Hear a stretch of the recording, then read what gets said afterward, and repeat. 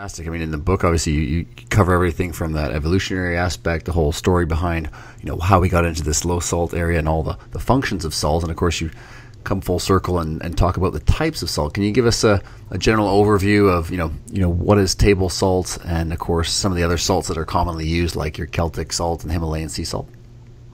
Yeah, that's a great question. It's funny thinking back on it before I researched salt, how little I knew about just table salt in general.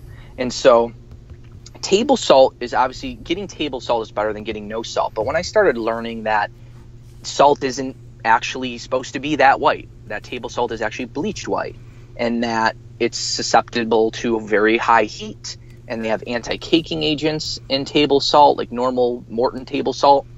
Uh, they also put sugar in in table salt, dextrose, and so when I started learning that, I was like, okay, well, geez, I need to really understand what are some of the healthy natural salts because For sure.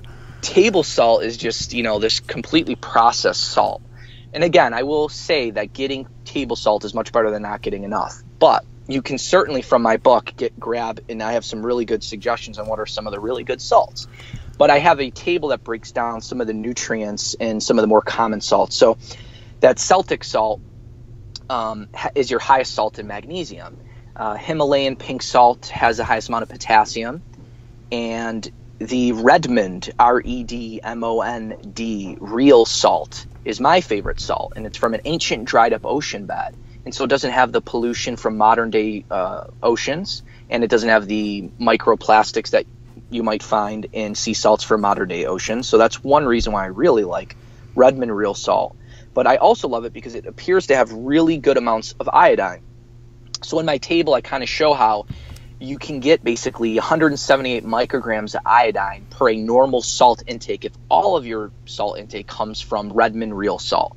So if, if your diet is kind of low on iodine, which a lot of people actually aren't getting enough iodine in their diet, then Redmond real salt might be a good uh, salt to use. So there's this there's a salt mixology where you can kind of mix and match the different salts depending on your diet in which some people have a diet low in magnesium and may want more of the celtic salt and some people have a diet that's low in iodine and may want to reach for the redmond real salt. So i kind of give um, po- uh, positives and negatives to some of the more common salts and i have that really nice nutrient comparison table in the book yeah, I thought that was fantastic. Really blew me away. The different forms of salt and other ones that are richer in calcium and iron. So yeah, incredible, incredible um, summary of all that information. Um, and something else that you touched on in your book, which you know surprised me, was low salt diets and the impact on things like libido and fertility. Can you give folks an idea of what's going on there? Yeah, uh, that is probably the most um, almost like scary side effect of low salt, and that back in the 1950s there was a study published in the Lancet, which is one of the most prestigious medical journals even today. They looked at over 2,000 pregnant women, and what they found was is that a low salt diet doubled miscarriages, it tripled perinatal death, it also tripled premature births. It increased preeclampsia. Like the one thing that we think salt causes, high blood pressure in pregnant women, it actually fixes. So they were giving these women 20 grams of salt up to 300 grams of salt which i wouldn't recommend but that's what they did with some of these really bad preeclamptic women completely treated their preeclampsia. And that's because pregnancy is a low blood volume state because the, some of the blood is being shunted to the baby. And the fertility aspect it's kind of interesting that the ancient greeks and romans knew this because aphrodite who is the goddess of love in, Greek mythology, is said to be born from the salty sea. And basically, she gets her name derived from the well known benefits of salt on fertility. And so, even Aristotle knew that animals were more eager to mate they would populate more if they consumed ample amounts of salt. And it's been proven in clinical studies that low salt diets in men will actually increase the risk of erectile dysfunction. So there's actually really good evidence that salt improves fertility in both men and women. I mean, I think that's great news for for for everyone, but it's a great way to increase compliance as well for your for your patients. Just because I think most people in clients think that's an easy um, an easy motivator for most people. Now, if we shift gears a little bit here, James, you could tell us perhaps a little bit about your you know your morning routine. Are you uh, you know are you a coffee drinker? Do you get most of your work done in the morning? How does that shake out in terms of uh, you know even in your preparation for the book and just day to day?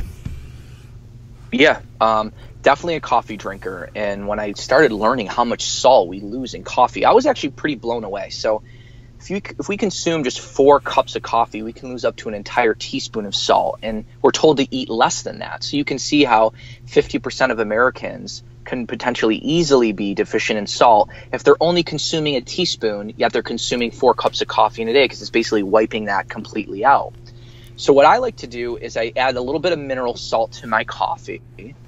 That'll actually cut some of the bitterness out and i don't have to use as much heavy cream so that reduces my fat bombs in the morning. Nice. So i normally yeah that's that's a honestly when i was going low carb that was one of my downfalls was was i was doing too many fat bombs. And so i started adding salt and that started kind of allowing me to use less cream in my coffee. Terrific. So i'll have yeah so i'll have about three cups of coffee in the morning i'll have three pastured eggs i'll put a good amount of Redmond real salt on there, probably maybe a fourth of a teaspoon with some pepper.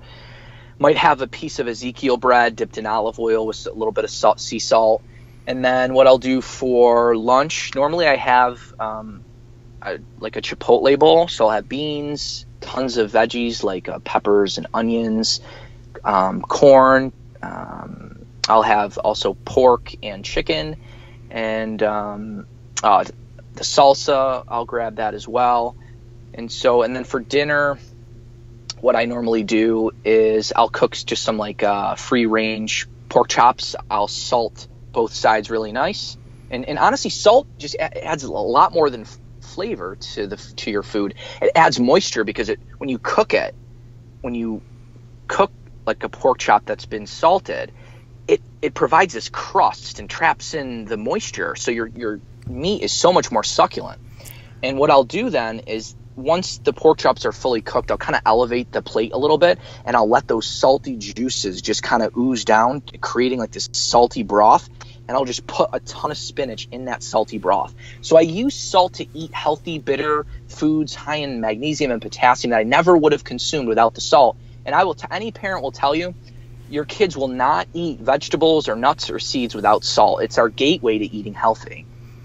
Yeah, that's phenomenal. I mean, it's you're making me hungry just listening to your description there. It's uh, but like you said, I mean, this is the secret of most chefs. Obviously, using salt and using the, the liquids and juices of all the meats to help uh, season everything and, and improve the taste. So such a such a good insight there. Now, I want to respect your time, uh, James. Here, so last question for you, kind of a thirty thousand foot view here. You know, why do you do what you do? Why did you get into this line of work and, and with even the book? Yeah, honestly, I've always been very inquisitive, but it really comes from I just want to help people out. And it was I was in the pharmacy. It was just started out as a pharmacist in the community. And I really understood the power of information when I started researching about the symptoms of sleep apnea. And so one of my patients had just suffered a stroke. She was a single mom. She was really distraught. She was like, James, if I have another stroke, I don't know who's going to take care of my kids. And so I started asking her questions about sleep apnea because I knew that about 90% of people who have a stroke have some type of sleep apnea.